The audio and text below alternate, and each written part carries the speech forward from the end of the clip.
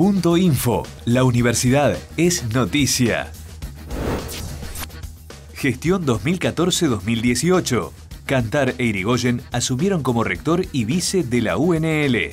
Preparándonos para afrontar otros cuatro años al frente de esta importante institución que está en, el último, la última curva de su camino al centenario. Los desafíos son, muchos. Continuar con todos los trabajos vinculados a investigación y desarrollo, particularmente fortaleciendo la relación que tenemos con, el CONICET y a través del CONICET con todo el sistema científico-tecnológico del país, eh, preparándonos para ver cuáles son las necesidades de, de nuestra región para ofrecer nuevas propuestas académicas, como lo hemos hecho en los últimos años con el caso de diseño industrial o de ingeniería en materiales, y particularmente con un desafío eh, muy importante que nos hemos planteado ya en nuestro plan de desarrollo institucional, y esto creemos que son los cuatro años para impulsarlo fuertemente, que es la presencia de la universidad en la región centro, norte y oeste de la provincia de Santa Fe.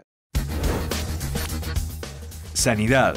La UNL monitoreará datos de obras sociales provinciales a través de un convenio con COSPRA. La Escuela Superior de Sanidad de la Facultad de Bioquímica y Ciencias Biológicas realizará la observación y análisis de datos de sistemas provinciales de atención de la salud.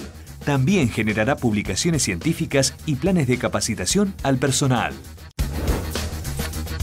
Del 13 al 16 de marzo se viene el 17 Festival de Jazz. Como todos los años, este, tratar de priorizar las composiciones originales. Para esta oportunidad vamos a tener un grupo para la apertura, que es la Orquesta Errante de Valentín Reiners. Y bueno, también vamos a tener un grupo local, que es el cuarteto de Pablo Aristein. Vamos a tener también una clínica o una masterclass de Valentín. También vamos a tener el día viernes una masterclass de Juan Bayón. Va a estar el trío de Enrique Norris el sábado vamos a tener un grupo en el quinteto VHB, mejor dicho, y también va a estar Carlos Michelini. El día domingo vamos a tener el gran cierre con Tony Malavi, que es el invitado de lujo de esta edición.